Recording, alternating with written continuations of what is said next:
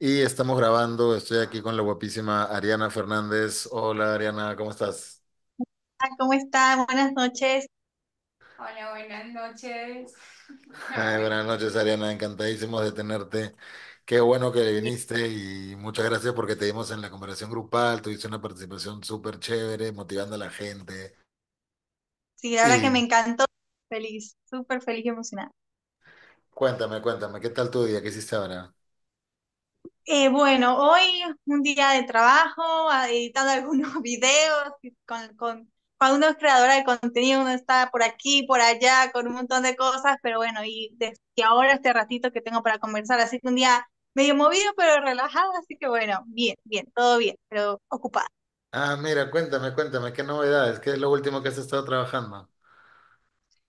Bueno, eh, ahora he estado editando videos, eh, soy creadora de contenido y creadora UGC, entonces, bueno, como colaboro con marcas y hago colaboraciones, ya sea por productos y publico en redes sociales, tanto en Instagram como en TikTok, y es algo que me fascina porque es recomendar productos que tú usas normalmente o que sabes que son buenos y pues como comunidad. Así que sí, eso es algo que me encanta, así que, y me encanta hablar en redes, entonces como me, es, es trabajo que me pagan por hacer lo que yo hago, que es genial. Así que sí. sí, sí, es importante. súper agradable, súper linda, ¿no? Como ella misma dice, como que esa luz, ese brillo que tiene. Gracias, gracias. Sí, la verdad sí. es que, bueno, amas, sí. Ah, disculpa, pero sí, no, sí, me transmites bastante confianza en todo. Y entonces tú me estás diciendo que eh, recomiendas productos y, y los vendes. Claro, es como influencer, pero lo que tiene de bueno ser creadora UGC es que como uno no tiene la cantidad de seguidores como un influencer que pueden tener más de tres mil, mil, un millón, es puedes tener pocos seguidores y de esa manera puedes trabajar con marcas que quieran promo, promo- hacer Promover. promoción de Sí, productos esa y que se muevan más en redes sociales de manera orgánica, porque ahora viste que con las redes sociales, mientras más orgánico, más transparente y más natural sea, pues mejor y más transmite. Entonces, pues sí, la verdad es que comencé hace, comencé hace unos meses, muy poquito, pero ahí es un trabajo, como todo, hay que hacer un portfolio, varios videos, pero es algo creativo y todo lo que es creativo a mí me encanta, entonces sí, toma su tiempo, pero como hablábamos hace ratito, cada cosita que uno va haciendo poco a poco, con paciencia, va tomando resultados. Entonces sí, ahí, estamos, ahí estamos. Por supuesto, por supuesto, claro que sí. Déjame decirte que sí he estado viendo el tema de UGC. eh, me ha interesado muchísimo y ahora que me comentas, por lo que entiendo, hay una distinción que el influencer se estima que tiene de cien mil seguidores o 1000 seguidores o lo que sea para y el UGC no es tanto así, sin embargo, puede también promocionar productos, ¿no? Entonces, coméntame un poco cómo, cómo funciona esto de ser UGC. Sí, UGC tú puedes postear o no los videos en redes sociales según la marca y puedes empezar con los mismos productos. Yo empecé con, no sé, por ejemplo, eh, con el maquillaje que uso normalmente, hago un video de no más de 30 segundos, de 15 30 segundos, y puedo hacer un, un review, puedo hacer paso a paso, puedo utilizar, no sé, compro unas ollas, hago un video de cómo me llegan las ollas, con cualquier marca, y ahí empiezas a tener tu portafolio, que lo puedes colocar en Instagram o en TikTok, eh, sobre todo como en Canva, es buenísimo para que las marcas te contacten y empiezas a tener el portafolio de videos o fotos también en redes sociales y es fácil porque puedes comenzar con pocos o ninguna cantidad de seguidores. Y obviamente cuando uno está empezando en redes es buenísimo porque tienes oportunidad de tener salida laboral en redes sin tener tantos seguidores como un influencer. Entonces está buenísimo para comenzar. Además que cuando uno ya llega a cierta cantidad para poder ser influencer, ya tienes la, la, la herramienta de hacer videos colaborativos con marcas. Entonces es, es muy bonito, la verdad. ya tiene mejor desempeño y más conocimiento en lo que va a hacer. Exacto. Sobre todo para co- contactarlos y poder manejar cuánto cobras, cuánto no cobras, cómo contactarte, qué hacer cuando una marca te contacta. Entonces eso es súper valioso. Pero entonces, eh, ¿y el cliente es la marca o, o cómo es que funciona? Tú lo publicas, digamos, o sea, yo, yo, me- yo entiendo que desde afuera se ve como algo tuyo, ¿no? Como diciendo, mire, me compré este producto, ¿qué tal les parece, chicos? Me lo voy a probar, eh, me encantó, buenísimo el producto, cosa que no parece que lo estás haciendo para vender algo, simplemente estás compartiendo tu experiencia. Pero al final, entonces, ¿tú buscas que te contrate la marca o buscas que un cliente compre el mismo producto? O sea, ¿cómo funciona la, el el- el tema de la venta? Claro. Eh, tú, vamos a ir por, digamos, la primera parte sería, yo hago contenido y pongamos como ejemplo Natura. Compro productos de Natura o uso productos de Natura que ya tengo, hago un video o tengo varios guardados, me contacto con Natura u otras marcas, les mando los videos que tengo, que es como un reel de actor, pero sería de creadora de contenido que se llama portafolio o un portafolio de Ajá, modelo. En este caso son que hemos hecho. Pueden publicarse o no cuando uno trabaja con la marca, pero eso lo decide la marca. Entonces te contactas con la marca, le mandas, hola, ¿qué tal? Un speech, eh, como un discurso, y le, le dices, eh, me llamo tal, creación de contenido UGC, puede ser de viajes, de hospedaje, para ma- productos de mascota, o mamá blog, eh, cosas de cosas de, de bebés, juguetes, todo ese tipo de, de cositas, eh, o no sé, tecnología, de cualquier área, de cualquier área que las, incluso mujeres o hombres, que eso está genial.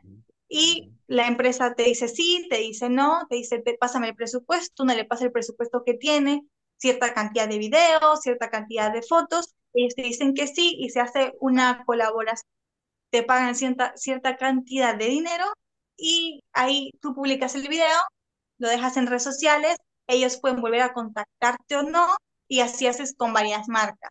Y cuando te van diciendo que sí, ya vas colaborando o las marcas pueden llegar a ti por los videos que ya han visto.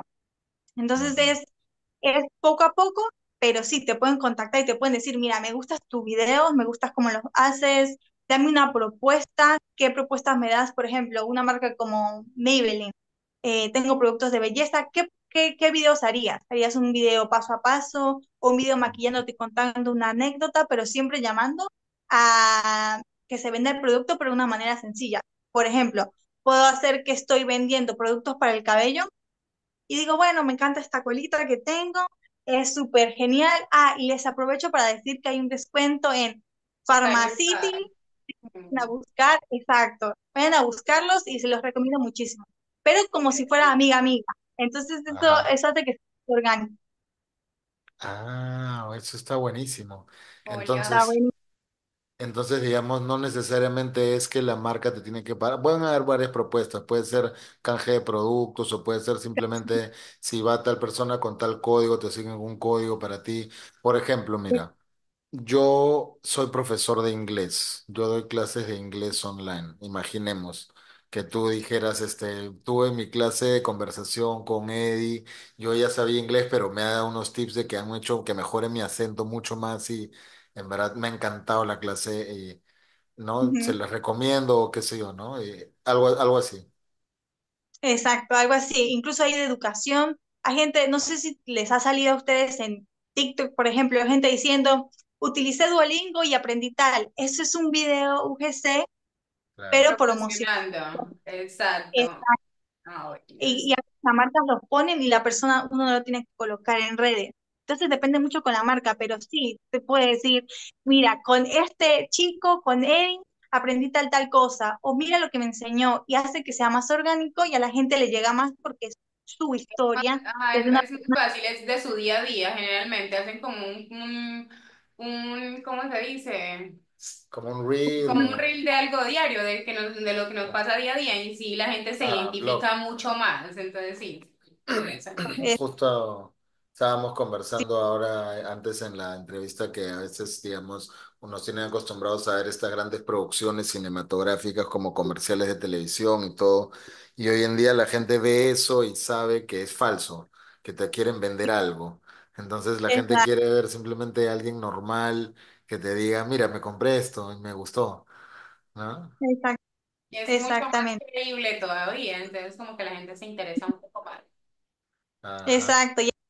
Ni siquiera hay que vender. A veces yo he visto muchas, no he hecho ese tipo de contenido, pero he visto muchas chicas que están, por ejemplo, maquillándose dicen una historia, cuando mi novio me engañó, se está maquillando y de- después dicen, ah, les muestro, este es el nuevo cepillo, la nueva brocha de Maybelline, eh, vayan a buscarlo, les dejo el link abajo. Y ya, o sea, te dijo tres segundos, pero tuviste la brocha en todo el video mientras hablaba y creaste una conexión con la persona. Y tú dices, ay, me gusta la brocha, pero te lo dice como engagement, que está, es parte un poco de marketing en redes, pero funciona y está bueno porque tú no te das cuenta que te están vendiendo. No. Entonces, buenísimo. Eso es lo mejor. La mejor venta es la que no tienes que venderla, la que simplemente haces que el cliente quiera comprarlo. Yo quiero eso. No me importa cuánto Exacto. cueste. Lo tengo que tener. Ajá. sí, genera la necesidad. No lo necesitas, pero, o quizás Lo sí quieres. depende. que- Claro. Exacto. Porque si, si te están este, convenciendo para comprar un producto, es porque no lo No, quieres. pues. Entonces te bajen el precio, te dan miles de ofertas, no lo vas a comprar, no lo quieres. Simplemente te lo ponen enfrente. Si lo quieres, estás dispuesto a pagar. Y pagas. exacto. Sí, lo que cueste lo pagas. Sí, te genera como una, co- o sea, tú sientes a veces que te está hablando un amigo o una amiga y es como, ah, bueno, y te genera confianza, que es lo bonito. Por ejemplo, clases de inglés, eh, aprendí tal cosa o te cuentan una historia divertida y tú dices, ay, este profesor que le enseñó se ve súper divertido, voy a, voy a Es, escribirle, voy a, a ver cuánto. Ajá. Entonces te genera como esas ganas de, esa curiosidad. Y a veces la curiosidad es más que incluso la necesidad, porque es, bueno, consulto y, y si quizás la gente quiere estudiar, le parece bien el precio y generas un cliente de una manera súper, súper orgánica. Entonces eso es súper valioso ahora con las redes sociales. Todo eso que me estás diciendo me interesa muchísimo porque imagínate con toda la comunidad que se está creando, con tantos ofertantes, tener una herramienta así que Y pueda, bueno, imagínate, y tú tener un montón de un catálogo de productos enorme en donde ganes por cada venta de cada producto comisión. Mira, yo te digo, yo siendo profesor de inglés, eh, digamos, eh, si tuviese un montón de alumnos, qué sé yo, o- o- ¿cómo te digo? Para mí mi sueño es tener un aula enorme, así, 500 personas, dar coaching así. Obviamente a veces en idiomas es difícil porque el alumno quiere una clase uno a uno, ¿no? Pero claro, digamos, t- sí, pero también está lo que es el coaching y lo que es el coaching de emprendimientos, lo que es el coaching de parejas. Y a veces la gente, son muchos productos que se desarrollan de acuerdo a lo que es conocimiento, ¿no? Y va de la mano con la confianza, con el autodesarrollo, todo esto, ¿no? Y bueno, un poco para ir regresando a lo que es el tema tuyo personal, Ariana, sí quería preguntarte más o menos cuál fue ese momento en el que tú decidiste ya dar un paso más y dedicarte ya profesionalmente a lo que es este eh, negocios online, ¿no? Lo que es ser UGC. No sé si recuerdas ese momento. A mí siempre me gustó las redes, o todo lo que eran los videos. Me acuerdo cuando, no sé, 2014, 13, que salían los youtubers Sebastián Villalobos. Yuya, y claro, era como, ay, yo quisiera hacer videos. Yo era muy tímida igual en ese momento, pero yo estaba en Venezuela en ese momento y era como un miedo de si haces videos puede pasar algo. Imagínate que sí te vuelvas famoso o te vuelvas viral y empieces a ganar dinero. O sea, era como un miedo en Venezuela. Yo dije, bueno, cuando salga de Venezuela, salgo en algún momento porque ya la situación estaba un poco dura, Ah, claro. dije, empieza a hacer. Y cuando llegué acá a Argentina en el 2019, en el 2020 empecé a como a, a hacer cositas. Empezaba Ajá. a mandar, soy modelo y actriz, entonces empecé como a estudiar, a mandar castings y creo que fue finales de 2020 que empecé a subir videos a TikTok primero y empecé como a subir, así divertidos, en ese momento era por, por hobby, digamos, porque siempre me gustó y fue lo primero que empecé a subir en redes sociales. Después, bueno, vi como en el, el, el año pasado vi lo de UGC, que fue como en Latinoamérica empezó a tener un auge gigante y todavía no, no, no sabía mucho del tema, así que dije, bueno, empiezo a hacer videos normales y ya. Pero a comienzo de este año vi mucha gente, sobre todo en Estados Unidos, que ganaba dinero. En Estados Unidos obviamente es otro mercado porque te pueden pagar mucho más por un video, pero ya se empezó a hacer más conocido aquí en Latinoamérica. Y yo dije, bueno, vamos a aprender. Vi unos cursos, vi videos, ya sabía editar, ya sabía más o menos cómo hacer videos, blogs, cómo hablar en cámara, y eso me dio más seguridad. Y empecé a hacerlo a principio de este año y, fue como un, bien, por, aquí va la cosa porque me gusta mucho todo lo que es contenido en redes sociales y fue como es, pero siempre quise, pero fue como acá en Argentina que empecé y este año en UGC específicamente, que fue cuando dije, bueno, vamos a hacerlo porque podemos generar ingresos y dejar, digamos, de tener un trabajo normal de 9 a 5, que era lo que, como mi meta principal. Entonces fue como ese momento. Un momento largo, pero sí, una decisión. Sí, bueno.